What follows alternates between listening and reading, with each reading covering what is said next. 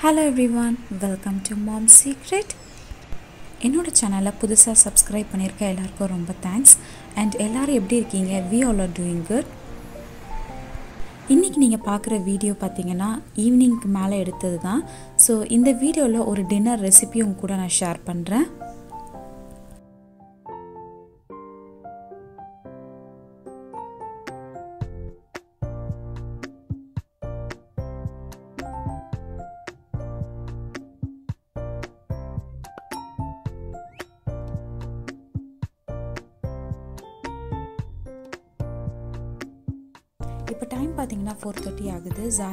மட்டும் வந்து நான் சூட் பண்ண போகிறேன்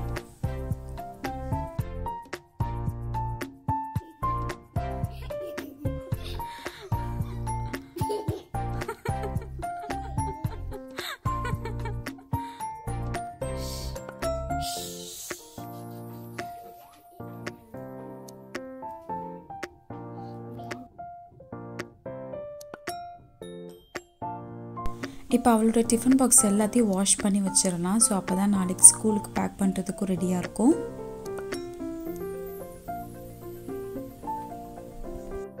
ஜாராவோட லன்ச் டைம் பார்த்தீங்கன்னா டென் தேர்ட்டிக்கே வந்து லன்ச் பிரேக் விட்டுருவாங்க. ஸோ அதனால் கொஞ்சம் ஈஸியான ஃபுட்டாக தான் கொடுத்து விடுவேன். அது கூடவே வந்து ரெண்டு ஸ்நாக்ஸும் நான் கொடுத்து விடுவேன். ஏதாச்சும் ஃப்ரூட்ஸு அதுக்கப்புறம் பனானா அந்த மாதிரி ஏதாச்சும் கொடுத்து விடுவேன். இவங்க ஸ்கூலில் வந்து லன்ச் ப்ரொவைட் பண்ணணும்னு அவசியம் கிடையாது. மோஸ்ட்டாக இங்கே இருக்கிற எல்லா ஸ்கூல்லேயுமே வந்து லன்ச்சு பிரேக்ஃபாஸ்ட் எல்லாமே ஃப்ரீ தான். இன்றைக்காவது நம்மளுக்கு வந்து பேக் பண்ண முடியலன்னா நம்ம வந்து ஸ்கூல் ஃபுட் எடுத்துக்க சொல்லலாம்.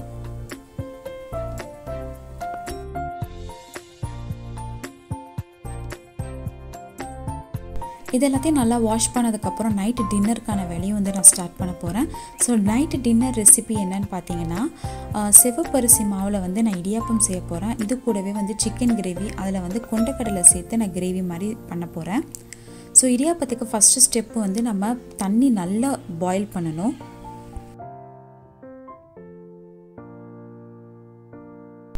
இடியாப்பம் வந்து நம்ம அரிசி மாவுலேயும் பண்ணுவோம்.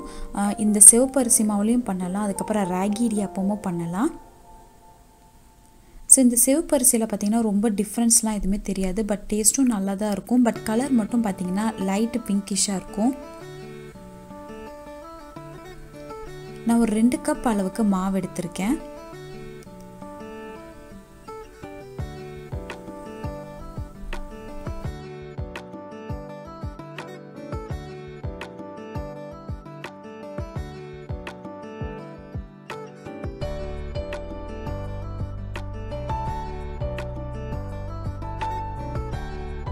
இப்போ இதுக்கு தேவையான அளவு உப்பு சேர்த்துக்கோங்க. நான் ஒரு ஒரு டீஸ்பூன் அளவுக்கு உப்பு சேர்த்துக்கிறேன்.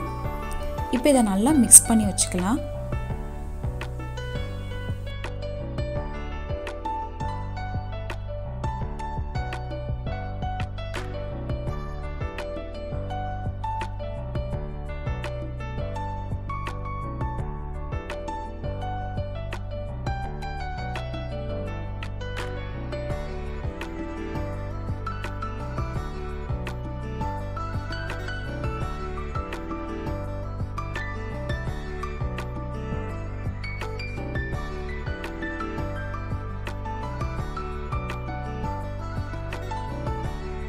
தண்ணி நல்லா இந்த மாதிரி பாயில் ஆகணும். இந்த மாதிரி பாயில் ஆனதுக்கப்புறம் நம்ம இதை எடுத்து வச்சிடலாம். இப்போ இதில் மாவில் கொஞ்சம் கொஞ்சமாக சேர்த்து நம்ம வந்து இடியாப்பம் மாவு வந்து ரெடி பண்ணிடலாம். கொஞ்சம் கொஞ்சமாக தண்ணி சேர்த்து இந்த மாதிரி நல்லா மிக்ஸ் பண்ணிக்கோங்க. ஸோ நான் ஒரு ரெண்டு கப் அளவுக்கு மாவு எடுத்தேன். மொத்தம் எனக்கு அஞ்சு கப் அளவுக்கு சுடுதண்ணி தேவைப்பட்டுச்சு.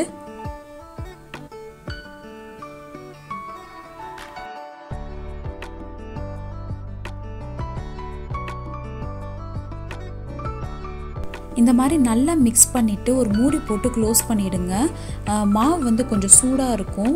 கொஞ்சம் லைட்டாகவும் வந்து குக் ஆகும். ஸோ இடியாப்பம் பண்ணுறதுக்கு உங்களுக்கு ஈஸியாக இருக்கும். எங்கள் வீட்டில் இடியாப்பம் சிக்கன் கிரேவினா ஜாராக்கு ரொம்பவே பிடிக்கும்.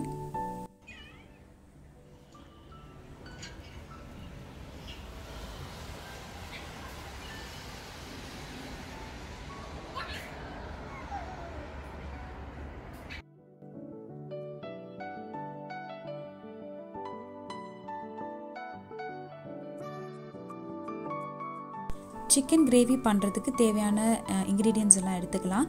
நான் வந்து ஒரு வெங்காயம் எடுத்திருக்கேன் ஒரு தக்காளி எடுத்திருக்கேன் ரெண்டு பச்சை மிளகாய் எடுத்திருக்கேன் இது கூடவே கொஞ்சோன்னு கொத்தமல்லி எடுத்திருக்கேன்.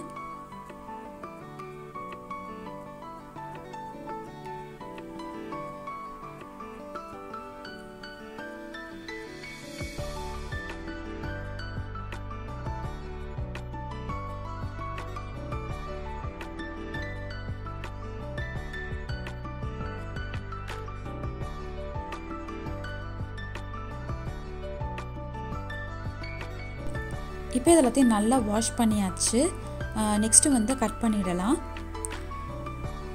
வெங்காயம் தக்காளி வந்து நீங்கள் கட் பண்ணியும் சேர்த்துக்கலாம். இல்லைனா வந்து வெங்காயத்தை அரைச்சி பேஸ்ட்டாக எடுத்து அதை தனியாக குக் பண்ணிவிட்டு அதுக்கப்புறம் தக்காளியும் அரைச்சி பேஸ்ட்டாக எடுத்து நீங்கள் வந்து கிரேவி பண்ணலாம். ஸோ கிரேவியும் நிறையா இருக்கும். தென் திக்காகவும் இருக்கும்.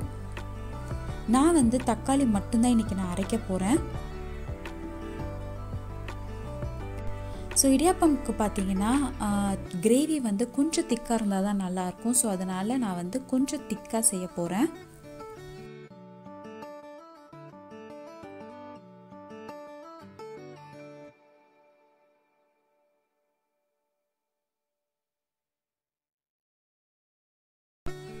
நான் வந்து ஈவினிங் ஸ்நாக்ஸ்க்காக கொண்டக்கடலை ஊற வச்சுருந்தேன். ஸோ நான் டேரெக்டாக டின்னர் பண்ணிடுறனால நான் கொண்டக்கடலை வந்து சிக்கன் கிரேவிலேயே சேர்த்துடுறேன்.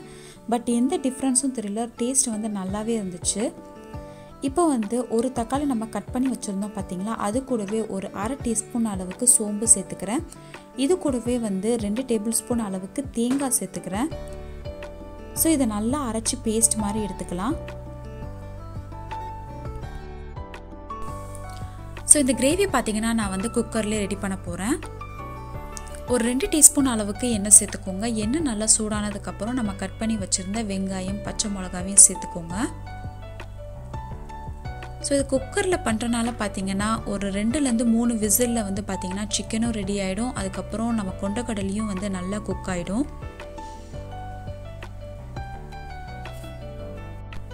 வெங்காயம் நல்லா வதங்கினதுக்கப்புறம் நம்ம வந்து இஞ்சி பூண்டு பேஸ்ட் சேர்த்துக்கலாம். ஒரு ஒரு டீஸ்பூன் அளவுக்கு இஞ்சி பூண்டு பேஸ்ட் சேர்த்துக்கோங்க.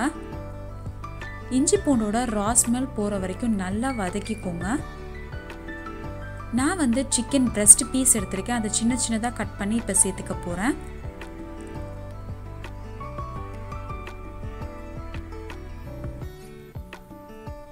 இதையும் நல்லா மிக்ஸ் பண்ணிவிட்டு நம்ம ஊற வச்சு வச்சுருந்த கொண்டக்கடலையும் சேர்த்துக்கலாம்.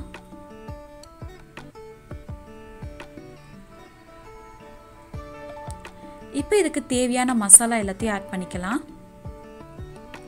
உப்பு வந்து ஒரு டீஸ்பூன் அளவுக்கு நான் சேர்த்துருக்கேன். ஒரு டீஸ்பூன் அளவுக்கு சிக்கன் சிக்ஸ்டி ஃபைவ் மசாலா சேர்த்துக்கிறேன். இதோட டேஸ்ட் வந்து ரொம்பவே நல்லாயிருக்கும் சிக்கன் கிரேவியில் இது கூடவே ஒன்றரை டீஸ்பூன் அளவுக்கு மிளகாய் தனியாய் சேர்த்து தூள் சேர்த்துக்கிறேன். கடைசியாக நம்ம சாப் பண்ணி வச்சுருந்த கொத்தமல்லி சேர்த்துக்கலாம். இப்போ இது எல்லாத்தையும் நல்லா மிக்ஸ் பண்ணிக்கோங்க.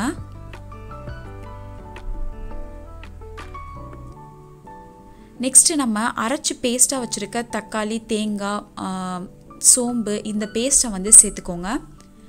இதில் ஒரு ஒரு கப் அளவு தண்ணி சேர்த்துட்டு இதெல்லாத்தையும் நல்லா மிக்ஸ் பண்ணிவிட்டு நம்ம வந்து மூணு விசில் வரைக்கும் ப்ரெஷர் குக் பண்ண போகிறோம்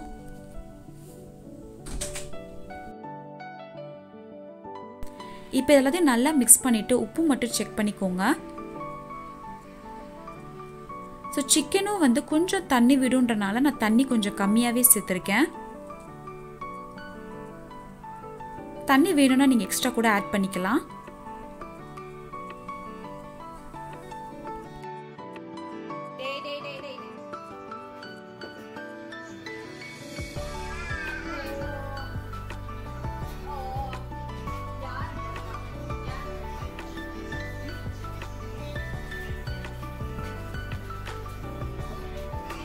ஜியாவோட நைட்டு டின்னர் பார்த்தீங்கன்னா இட்லி தான். ஸோ இட்லி கொடுக்குறனால இடியாப்பமும் வந்து இட்லி பிளேட்லேயே வச்சிடலாம் அப்படின்றதுக்காக இட்லி பாத்திரம் எடுத்திருக்கேன்.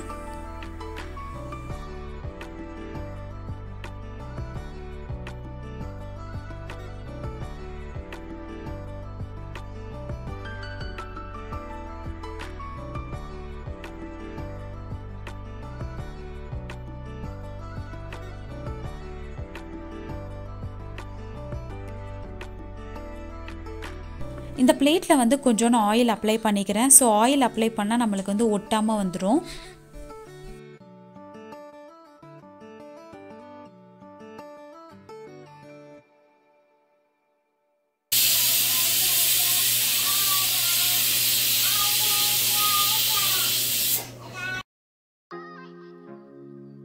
இப்போ வந்து நம்ம இடியாப்பம் ரெடி பண்ணிடலாம்.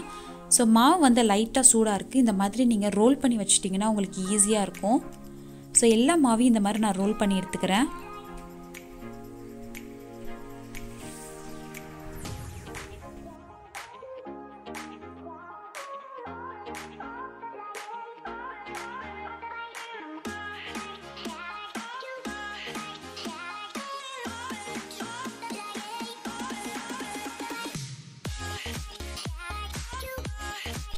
ஸோ இதே மாதிரி நீங்கள் வந்து ராகியில் கூட இடியாப்பம் பண்ணலாம். ஒரு ஒரு கப் அளவுக்கு ராகி மாவு எடுத்துக்கிட்டிங்கன்னா ஒரு அரை கப் அளவுக்கு அரிசி மாவு சேர்த்துக்கோங்க. அது கூடவே தண்ணி சுடுதண்ணி சேர்த்து இந்த மாதிரி மாவு ரெடி பண்ணி நீங்கள் இடியாப்பம் பண்ணலாம்.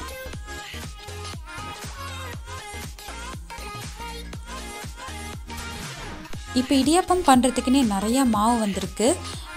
ராகி இடியாப்பம் கோதுமை இடியாப்பம் அதுக்கப்புறம் வந்து சோள மாவில் கூட இடியாப்பம் மாவு வந்து ரெடிமேடாக வருது.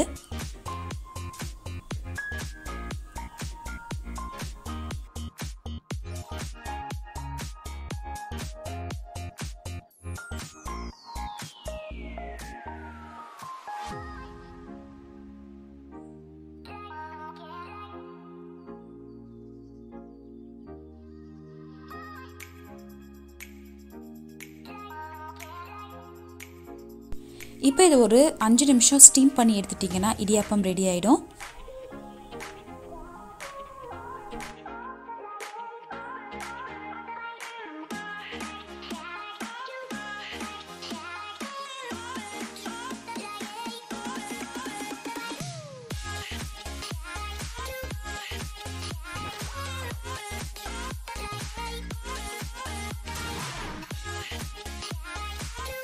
ஸோ டின்னர் ரெடி ஆகிடுச்சு சிக்கன் கிரேவியும் ரெடி ஆகிடுச்சு இடியாப்பமும் ரெடி ஆகிடுச்சு ஸோ இதோட கன்சிஸ்டன்சி பாருங்கள் ரொம்பவும் திக்காக இல்லாமல் ரொம்பவும் தண்ணியாக இல்லாமல் இருக்கும். ஸோ இந்த மாதிரி இருந்தால் நல்லாயிருக்கும் இடியாப்பத்துக்கு. ஸோ உங்களுக்கு எந்த கன்சிஸ்டன்சி வேணுமோ அதுக்கேற்ற மாதிரி தண்ணியாக வேணும்னா எக்ஸ்ட்ரா நீங்கள் தண்ணி சேர்த்து கொஞ்சம் நேரம் பாயில் பண்ண விட்டுக்கலாம். திக்காக வேணும்னா இன்னும் கொஞ்சம் நேரம் நீங்கள் வந்து பாயில் பண்ணிங்கன்னா இன்னும் கொஞ்சம் திக்காகும்